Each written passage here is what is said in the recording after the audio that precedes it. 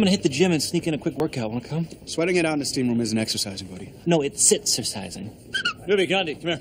Great. Dr. Cox and his golden boy med student. I wanted you to witness this. Number one, say goodbye to the number one sign. Oh, that's too bad. and say hello to the number one shirt. What? It's beautiful, honestly, the nicest shirt I've ever received from a grown married man. Oh, go on. Please leave me alone. Put it on. Hey, wow, that's, that's some crazy ink you got there. What the hell is that thing anyway? I don't know. I woke up after a three day bender driving a forklift and sporting it. My name's Drew. I'm so cool because I've been in prison and I got a tattoo. Mark him and I'll eat your soul. Tattoo spooked you a little, huh? His breath was so cold. So cold. Flapjacks! Oh, thank God. I thought I was late for Dr. Cox's class. That would be the biggest mistake I could make. Damn, girl. That was a workout. Okay, second biggest. You know, normally I like to sleep in, but part of me is an early riser. Wow, this should not have happened. Again. Not that it wasn't nice. You have small but surprisingly powerful hands and almost no beard. It's like you were created in a lab for a woman's pleasure. The thing about Cole is that No, he- no. No third person. Let's begin with some Q&A. You, seat filler. Tell me the thickest layers in the walls of veins. Uh. Thank you for getting us off to that rousing start. Who's next? Ah, pinup girl avoiding eye contact. Ugly Don Cheadle. What about you, Legacy? Got anything? Well, uh, you see. No, curiously, I don't see. When Dr. Cox gets like this, it feels a lot like second grade gym class. baby. Show some sack and pick up a ball. Who wants it? You? Yo, you. Yeah, out. You. Not the face! Yeah, in the face. In the bush. Anybody else? Oh, thank you, Muffin.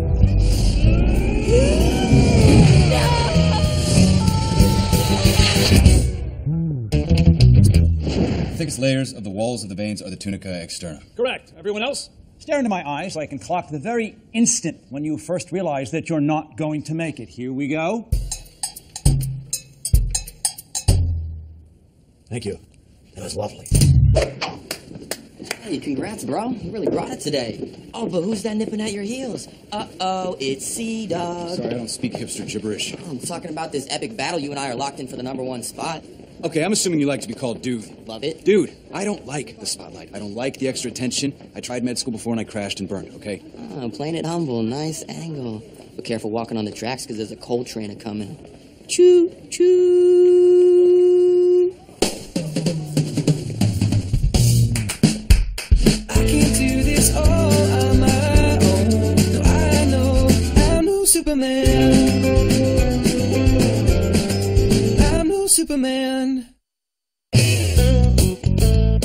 Psyched when Dr. D asks me to swing by for office hours. So tell me, how's school going? Well, my hair is falling out in clumps, but that's not necessarily stress. I mean, I am getting older. That's what I wanted to talk to you about, Lucy. You need to be prepared for when I leave. Damn it, why bring her to the learning tree if you're not going to use it in your inspiring talk?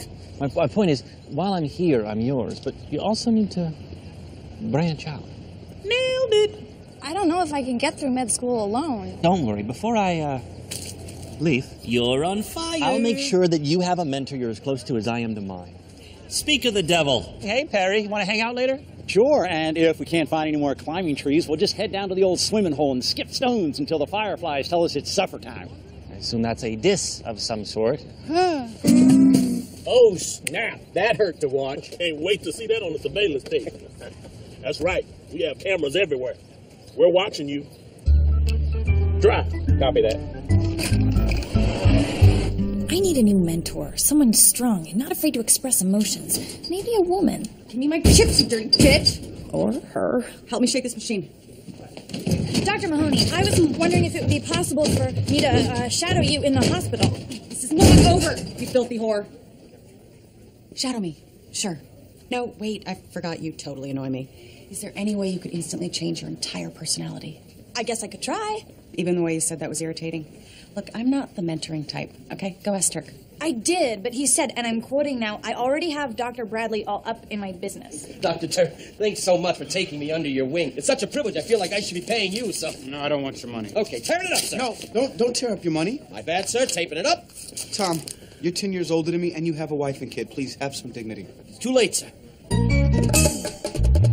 I wish Dr. Cox had some time for me, but I get it. He's a busy man. A very busy man? Just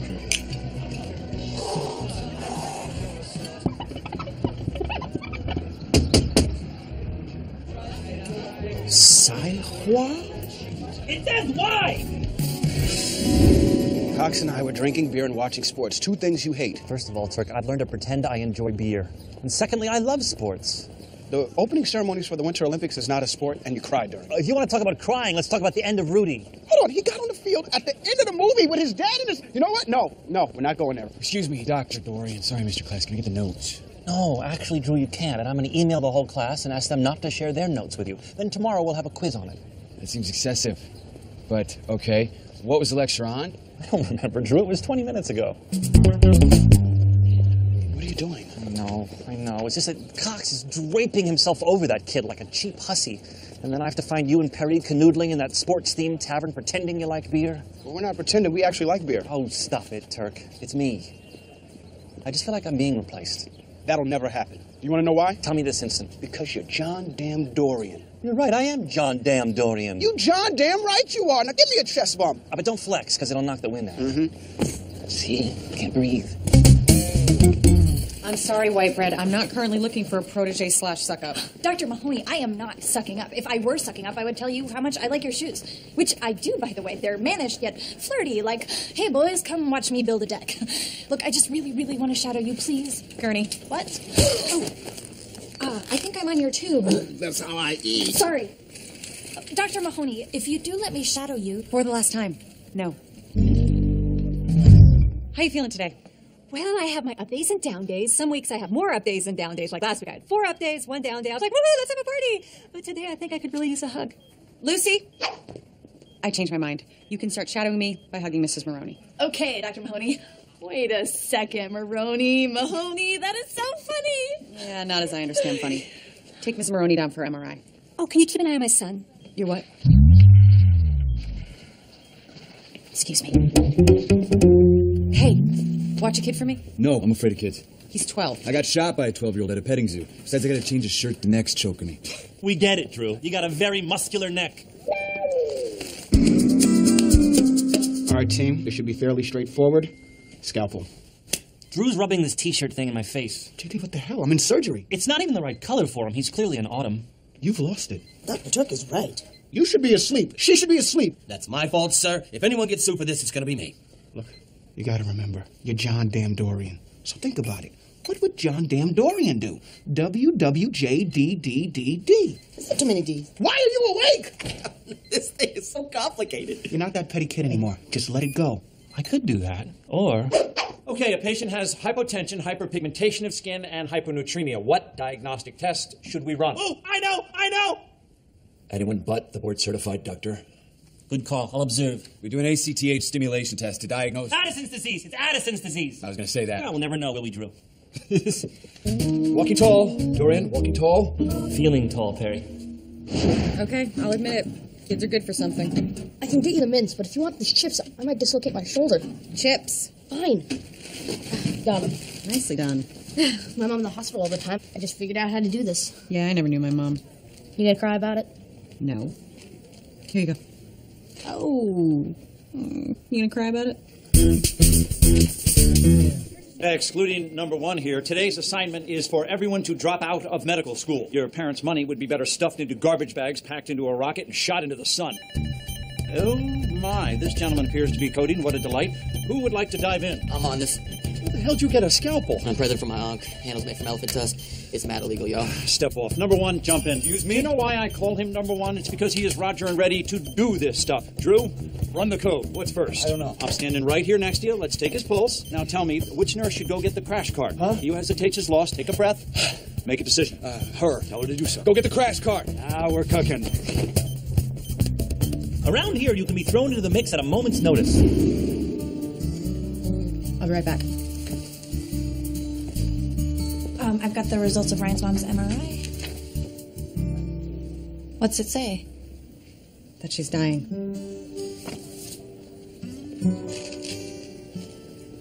Bring him back to her room. You just have to hope you're up to the task at hand. You're doing really great. Is this guy dying? Probably, but he's been circling the drain for months, so it's no biggie. Now he's unresponsive to CPR. What's uh, next? I don't know. Sure you do. Think. I don't. Come on, Drew. Tell me. This is insane. I'm not ready for this. Of course, if you let someone down, Billy, a little help here, please. Go. it can turn into someone else's moment to shine.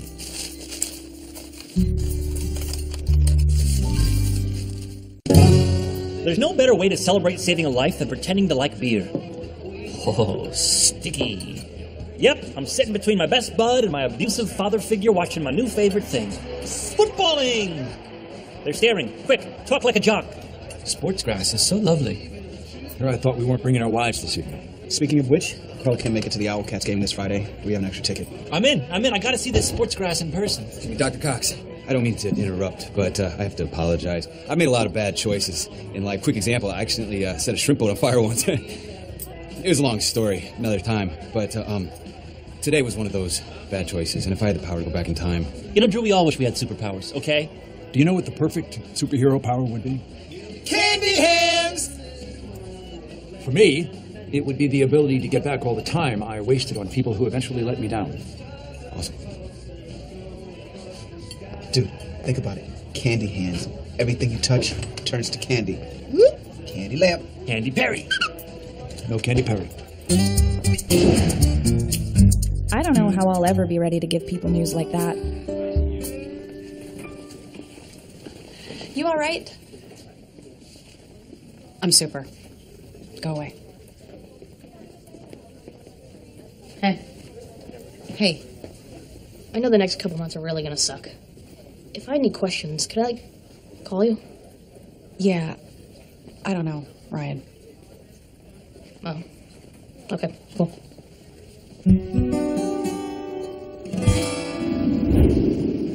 Why is the college mascot an owl cat? I don't even know what an owl cat is. I like to think it's what happens when an owl and a cat fall in love. Hey, here's my kiss ass with some pizza. I'll be back with a couple of slices. Dr. Torrey, do you have a second? No.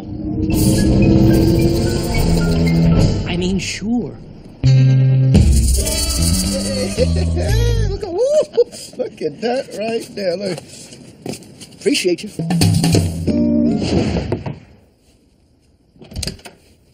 Oh, Dr. Mahoney. Hey, I need to talk. Oh my god. Were you raised by horses? No. I wish. I was just studying What's up, Shorty? and fornicating.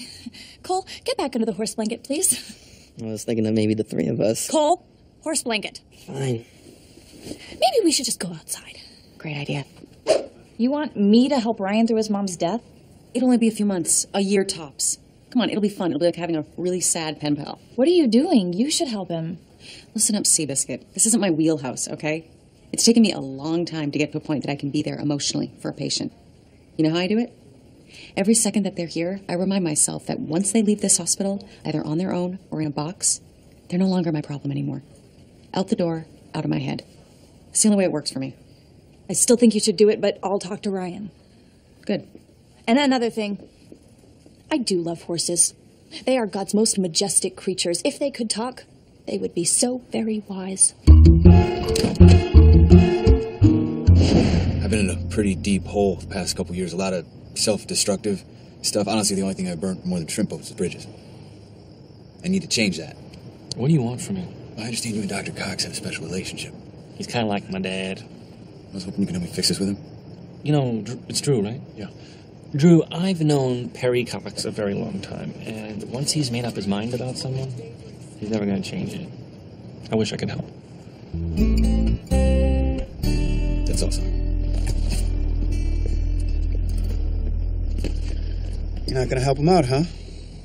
Kind of sucks. I thought you wanted to be a good teacher. During the day, I'm a good teacher. But right now, I'm ready for a little Magnum PI, crustache. I'm going to be Magnum PI, and you're going to be Black Higgins.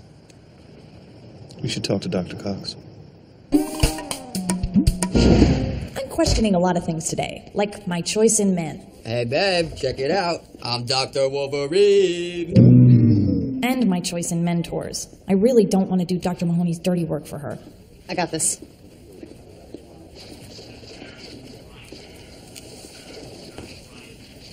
Oh, I love that game. If you want to beat the level, you got to take that sniper out of the church.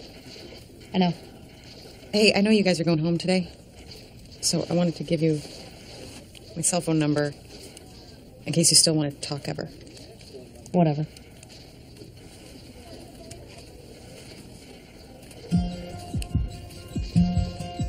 Give me that. You're horrible. I'll get the sniper. Yesterday when you were young, everything you needed done was done for you. Now you do it What on the hell are you wearing? I'm showing my Owlcat spirit. If it's not enough, I have wings and talons in the car. Is that glitter? Hell no! It came with the makeup kit. I don't have to use it. Today. Oh, for the love of God, Francine. I gotta go get the tickets at Will Call. Please don't let him put the glitter on. I've heard that sentence uttered about another man. Harry, uh, I want to talk to you about Drew for a second. I, I really think you're making a mistake with him. Don't you have some gay dance rehearsal you got to attend? He has potential, and you know it. He's too old. He's experienced. He quit. But he came back. What exactly do you want from me? I want you to realize he set the bar too high. The attention that you're giving to Drew, I would have killed for that eight years ago. But you weren't ready yet. I had to break you down. I tamed you like a bull. Excuse me, are we approaching a point here, Dorian? Harry, you finally found someone to believe in. Don't ruin it by being you. I think I just mentored my mentor. But maybe that's how it always is. Our roles are always switching. Sometimes you're a student, and sometimes you're a teacher. Lucy, you still want to shadow me? More than horses love rainbows. Let's go. Too close. And if you're smart enough, everyone can learn something. One more question, and all you little assassins can get out of here. Someone please tell me where the foramen ovale in the fetal heart is located. Drew, save us, please. Uh, the interatrial septum. Yes, nicely done. I'll expect you to be wearing your shirt tomorrow. Everyone leave now. But whatever you do, don't wait for that pat on the back. Because believe me, it will never, ever. Oh, come on! You can't go back now.